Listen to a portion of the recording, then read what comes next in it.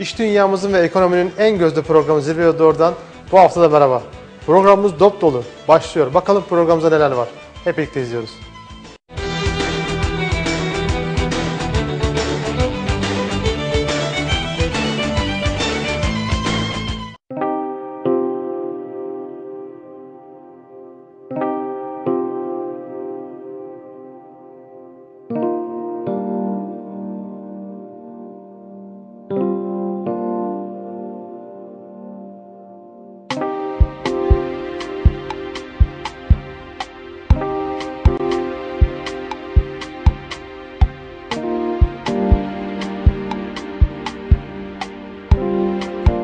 Hizmet etmek için gelmiş olduğumuz günden itibaren hizmet aşkımızı ortaya koyma gayretini gösterdik.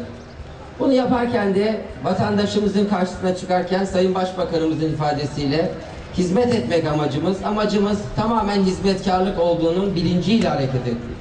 Ve bu bilinci yerine koymaya çalıştık ve bu bilinçle hareket etme gayretimizi sürdürdük.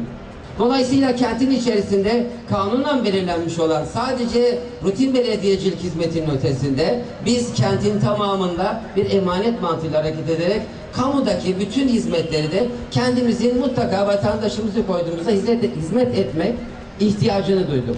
Bu açıdan baktığımızda biz işin şehremin olarak ecdadın ifadesiyle gayret ederken aynı zamanda gelişen dünya, artık küçülmüş bir dünyanın bireyleri olarak bizler gelişen teknolojik imkanlarla bu köy haline gelmiş dünyada artık totaliter, otoriter yönetimler yerine artık bireyi merkeze koyan ve bireye hizmet etme amacını ortaya koymuş anlayışları ortaya koyduğumuzda düşündüğümüzde biz bireyi merkeze koyup global düşünüp yerel uygulamayı koyduğumuzda bireye hizmet etmek amacımızı hep ortaya koyma gayretini gösterdik.